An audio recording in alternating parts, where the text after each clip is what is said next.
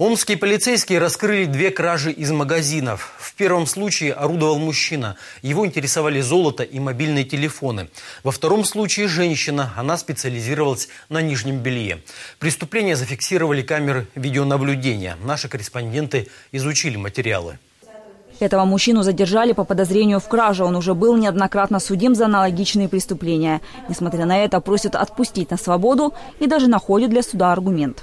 Смысл мне, например, куда-то вообще скрываться, если я живу вот здесь, четыре остановки отсюда. По версии следствия, обвиняемый орудовал в торговых центрах Октябрьского округа. Схема всегда была одна. Преступление зафиксировали камеры видеонаблюдения. Вот обвиняемый просит у продавца посмотреть золотую цепочку, примеряет ее и убегает. Задержали злоумышленника по месту жительства, его узнали полицейские.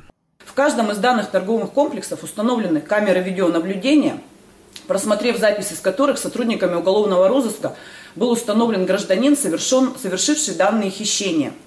Им оказался ранее неоднократно судимый за аналогичные преступления Амич 1981 года рождения. Общая сумма ущерба 380 тысяч рублей. Всего четыре кражи. На суде подозреваемый признается, все деньги потратил на женщин. То, что в торговых центрах есть видеокамеры, не заметил. А на преступление пошел, потому что продавцы его спровоцировали ну, сами дают, то есть посмотреть вот так. То есть, что не надо ничего забирать, просто ну, взял посмотреть, убежал А из золота что вот вы взяли? Там цепочка или колье? Цепочка. Дорогая такая, да? Ну, а я не помню уже точно, сколько стоила. Ну, прилично стоила. А похищенная куда девали? Продал в ломбард. В один и тот же? Да, в один и тот же, да. А деньги тратили? Ну, так, на ну, в основном с девушками.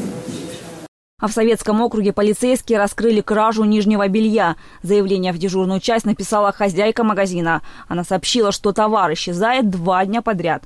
Общий ущерб предпринимательница оценила в 5400 рублей. В ходе отработки э, продавцов, а также при просмотре камер видеонаблюдения, установленных в торговом комплексе, расположенном по улице Заозерная, участковыми уполномоченными была установлена личность э, Э, данной девушки. Ей оказалась 27-летняя э, жительница Советского округа, э, ранее судимая за совершение имущественных преступлений. В настоящее время подозреваемой избраны меры пресечения в виде заключения под стражу.